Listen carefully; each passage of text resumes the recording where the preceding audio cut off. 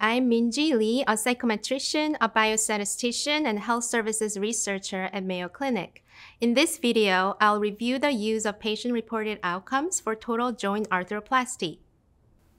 PROs are commonly used in total joint arthroplasty. In this video, I'll provide an overview of the development, validation, and use of PROs in orthopedics. I'll describe considerations for conceptual framework, validity, reliability, factor analysis, and measurement of change. I'll also describe advantages of PROs developed based on item response theory and statistical analysis for PRO data.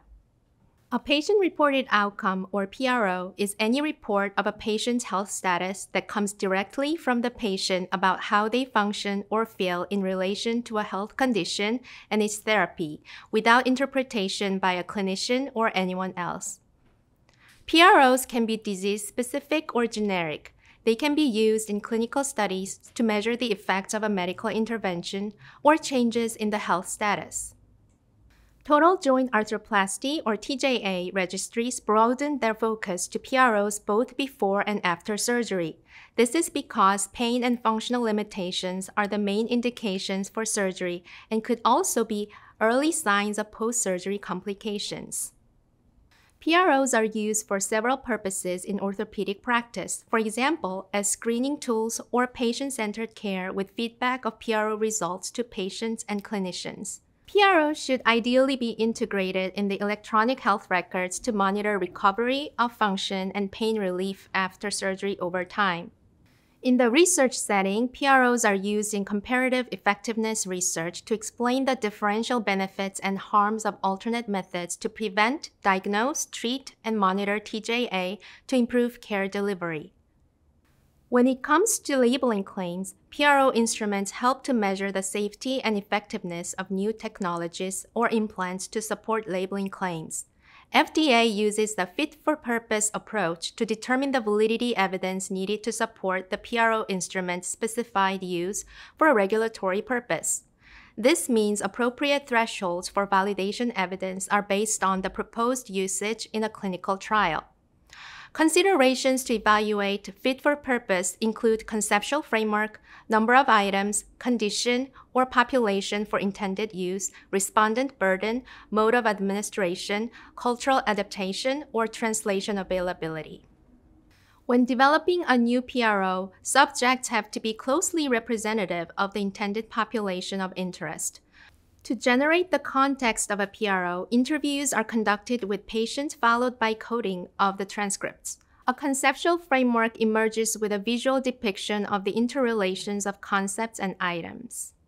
Here is an example of the conceptual framework for the 12-item KOOS. It provides three domain-specific scores, pain, function, and QOL, and a summary knee impact score. Each of the three domains has four items. For example, pain domain is based on frequency of knee pain, pain walking on flat surface, pain up and down stairs, and pain sitting or lying.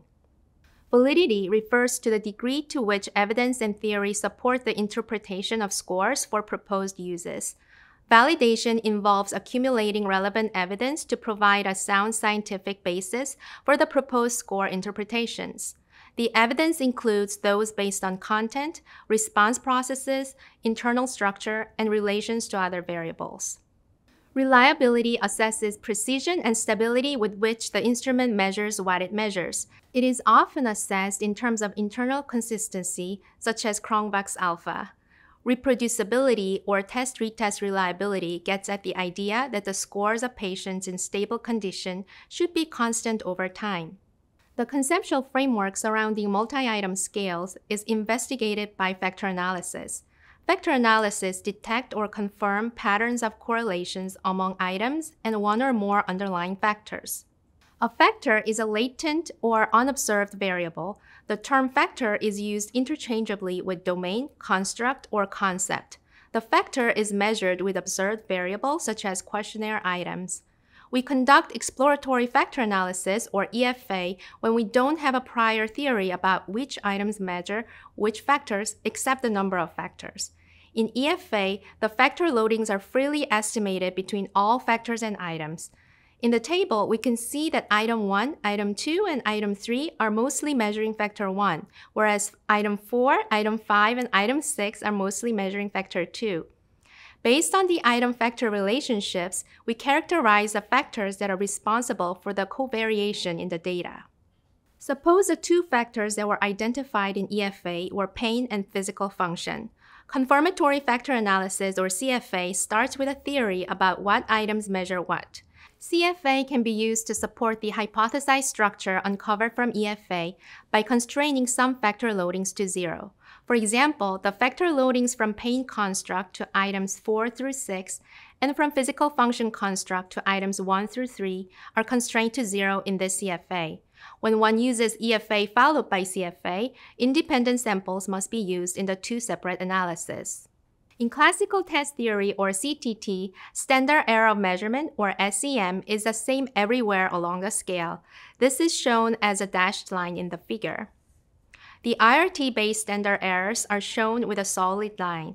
They are lower in the middle range. Yet, as the scores become more extreme, such as lower than 50 or higher than 70, the standard errors become higher. This means precision becomes lower. A theoretical advantage of IRT is in a more precise estimate of measurement error. Measurements do not have to be based on the same items as long as the items are calibrated on the same scale. This is a major advantage of IRT as it allows comparison of scores on a trait even if people took completely different items. The outcomes in arthroplasty typically involve the measurement of change. This requires PRO measures to detect reliable and meaningful change. Minimal important difference, or MID, or minimal clinically important difference, or MCID, is the smallest change in a treatment outcome that patients would identify as important. The MID can be derived using three different methods distribution based, anchor based, or the Delphi methods. It serves as an interpretive threshold above which an individual's change is deemed relevant or important. The most popular anchor-based methods use patient self-reported evaluation of change. When there's no credible anchor-based MID value, researchers may use a distribution-based method. When we use distribution-based methods, we often present a range of MID estimates based on standard deviations. MID estimates can vary depending on samples and methods used. Meaningful change in commonly used PROMs in arthroplasty is an active area of research. In general, statistical analysis is the same as for other outcome variables. The choice of methods depend on whether the outcomes are ordinal, binary, or continuous. Here are some practical guidelines when interpreting PRO-based studies. First, clarify the purpose of the study and whether the PRO measures disease-specific symptoms or generic QOL. Second, check to make sure there is adequate validity evidence to support the interpretations of scores for proposed uses of the PRO. For instance, is a measure able to identify differences in scores over time in patients whose health is known to have changed? Lastly, determine how the data are collected and the amount of missing data. Is a study sample representative of target population? For instance, sicker individuals are less likely to respond to surveys, causing a potential selection bias.